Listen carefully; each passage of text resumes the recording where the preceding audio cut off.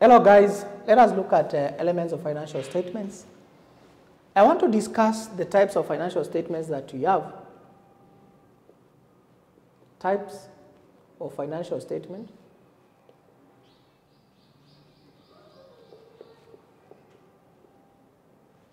The types of financial statements. One, we have what we call statement of financial position.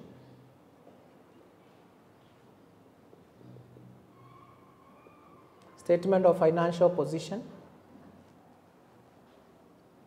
This is what was previously called balance sheet.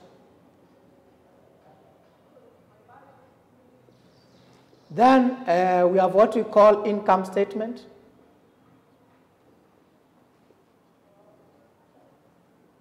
This is what was previously called profit and loss account. Three, we have what we call cash flow statement.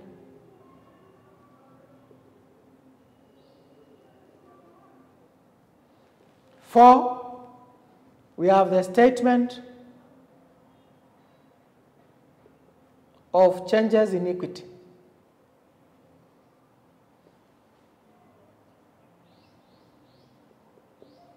Statement of changes in equity. This forms basis of the major financial statements. This forms basis on the major financial statements. I would want to discuss the elements of the first two financial statements. So elements. So let's start with the first one, which is elements of balance sheet. Elements of statement of financial position.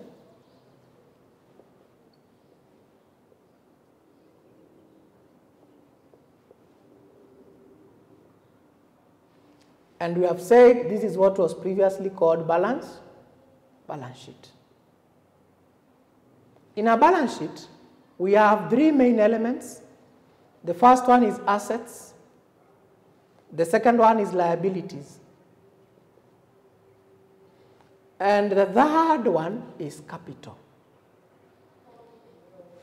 We shall discuss each one of these elements. Assets, what are assets? We shall discuss what are liabilities and what is capital.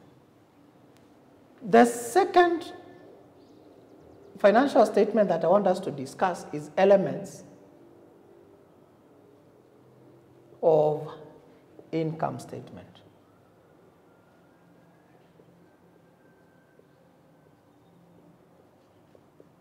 This is what was previously called, this is what was previously called trading,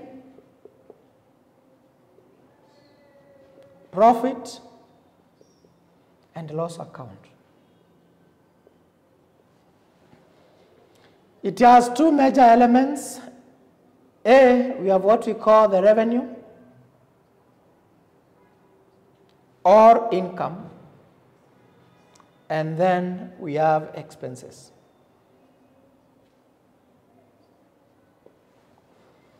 So let us discuss what are assets, what are liabilities, and what is capital. Uh, let us look at uh, what are assets. Uh, so what are assets? Assets are economic resources. These are economic resources controlled and owned by an organization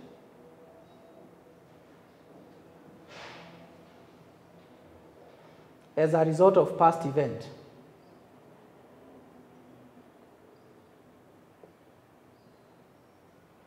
So what we are saying is that assets are economic resources because they are items of value.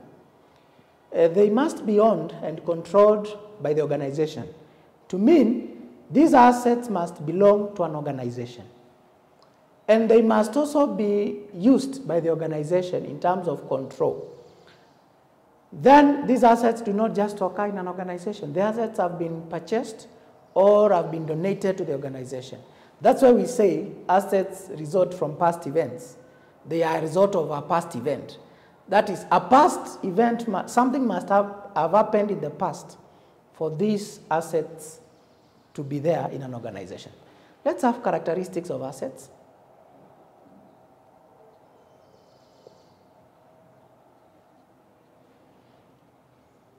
Characteristics of assets. Assets have uh, three main characteristics. One is that assets are economic resources.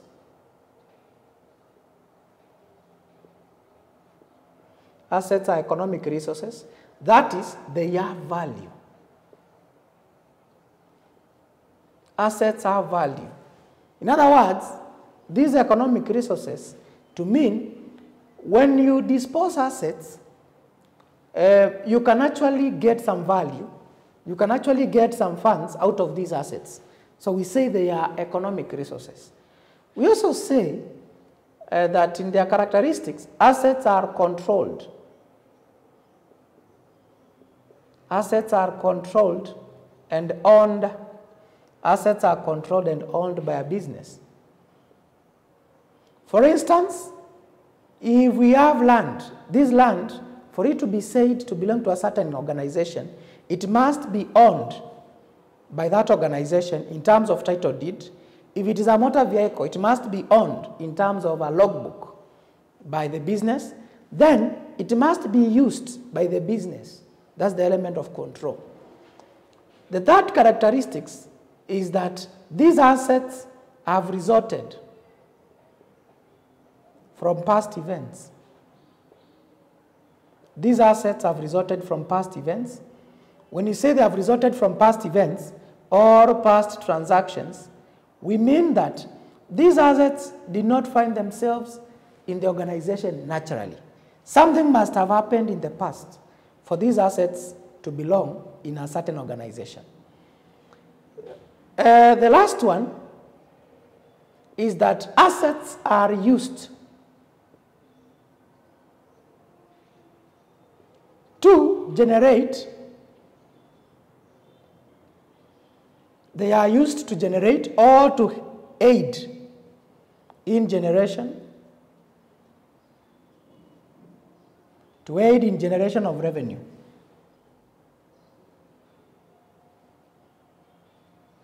So here we mean that any asset you have in the organization, it will qualify to be an asset if that asset is being used to help the organization to generate revenue.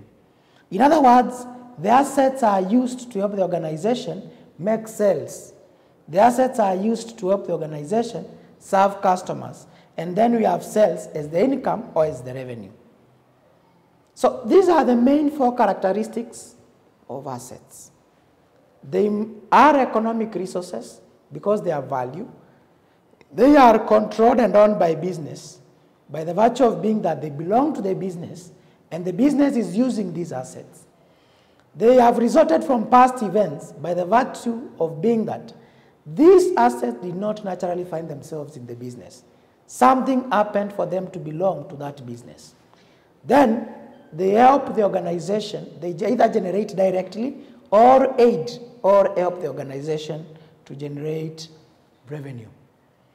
We can have an example in a, in, a, in a school setting, a classroom, which is actually a building.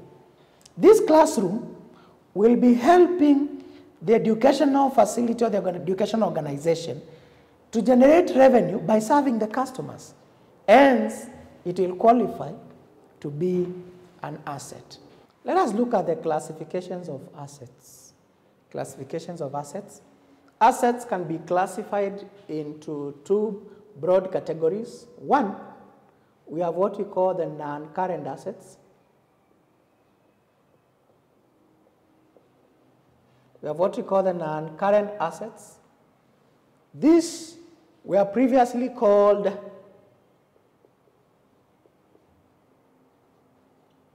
These were previously called uh, fixed assets.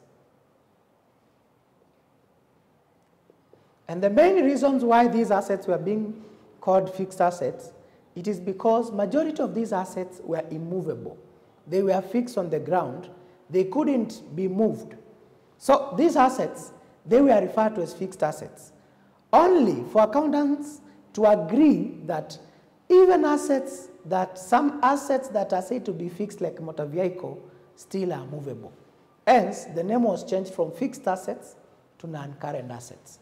And the non-current assets are defined as assets that are expected to be utilized in an organization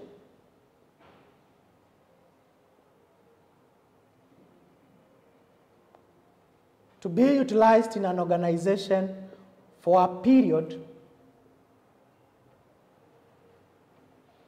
of more than a year.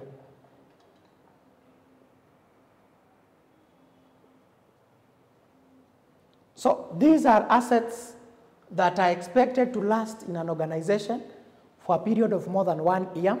And we have examples. Examples. We have examples. Examples of these assets, we have one, land and building.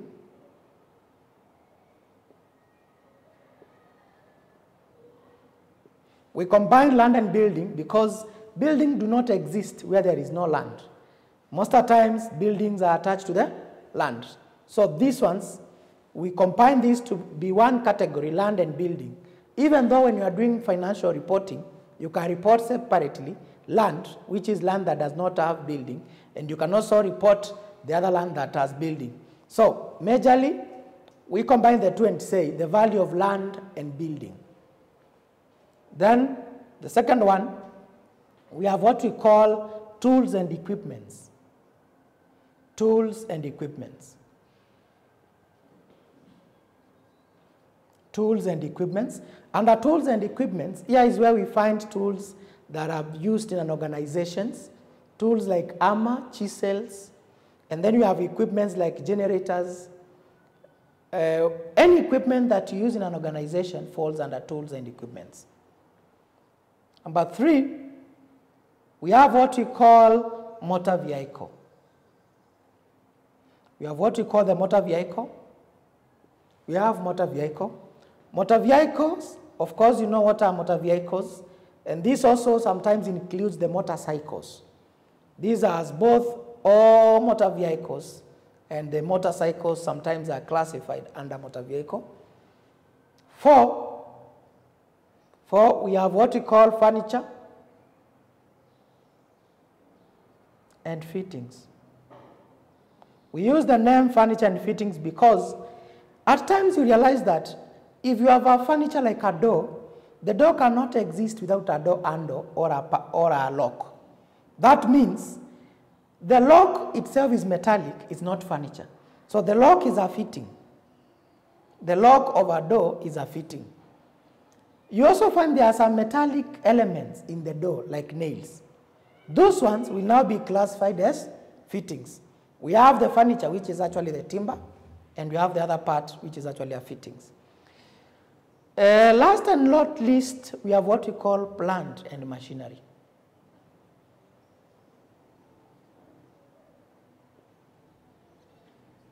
Under plant and machinery, these are not biological plants. Plant and machinery refers to those machines that are fixed on the ground, that are grounded and fixed on the ground. And I would give you an example. If you have industrial generators, industrial generators, they will have a component that is fixed on the ground. That is, the, the generator will behave as if it is a plant that has roots. Hence, we call them plant and machineries because of the fact that they have some component that is fixed in the ground. And that component is what makes us we call to call these big machines plant and machinery. And I would want to say that when I talk about plant and machinery, here I'm not referring about the biological plants. Even though biological plants still are assets, especially in an organization that deals with planting of trees and selling of timber, they'll still be assets. But when we join them with machines, we simply means those industrial machines that have to be fixed in the ground. These are the five major examples of non-current assets. The other category of assets is what we call the current assets.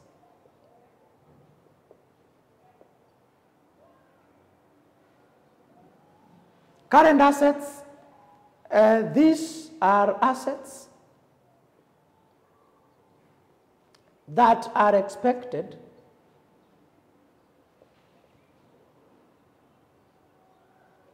to last for a period of less than a year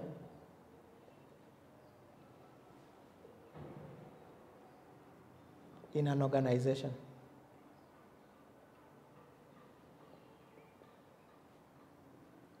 These are assets that are expected to last for less than a year in an organization.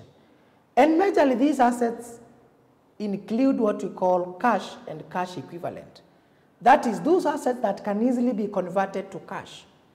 So we have examples. We have examples here. In the examples, we have one, what we call cash in hand. Then we have the second example, cash at bank. The third example, we have what we call debtors. Debtors, these also are called accounts receivable.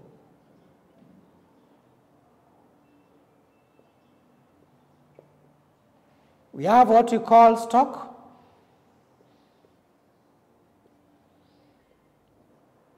And uh, five, we have uh, prepaid, prepaid expenses. When you talk about cash in hand, we call it cash in hand because cash is in the pocket. We assume in the pocket, in the cash book, in the office. So we say this is cash in hand. This is the money that you have in the office that is not banked. We also say cash at hand because cash is, is, at, is at a certain place, which is at the bank. So here we use at, cash at, at bank. Then we have debtors. Debtors, these are customers that have bought goods on credit. Customers that you have sold to them goods on credit. And you don't expect these customers not to pay you for a period of more than a year. You expect these customers that you have sold goods to them on credit to pay you within a year. The same way, the cash you have in the office or in the cash box, you don't expect that cash to last for more than a year. You expect to have used for, a, for a period of less than a year. The same thing for cash at bank, you expect the cash at bank to be revolving, so you don't expect the cash, cash to last for more than one year. We also have stock. When you are buying stock, you don't expect the stock to last for a period of more than a year in, a, in your organization. So you expect to sell the stock for a period of less than a year, then you can acquire some, some other stock. And stock is also called inventory. We also have what we call the prepaid expenses. These are expenses that you have paid in advance. These are expenses you have paid in advance. So you don't expect those advance payments to last for a period of more than a year. You expect to utilize the uh, advance payment with that within a period of less than a year. Hence, these are the main current assets that we have in that we use in accounting. And these are the main and current assets that we use in accounting. For you to understand accounting, you need to master this to be in your fingertips. You need to master this to be in your fingertips. And that will become easy. It becomes so easy for you to master the other topics, especially ledgers, because you shall be knowing what is an asset. When you talk about a debit and a credit in ledgers, you shall be understanding what we mean and uh, what is an asset. So it is very key that you memorize this and you memorize this to make your accounting life very easy.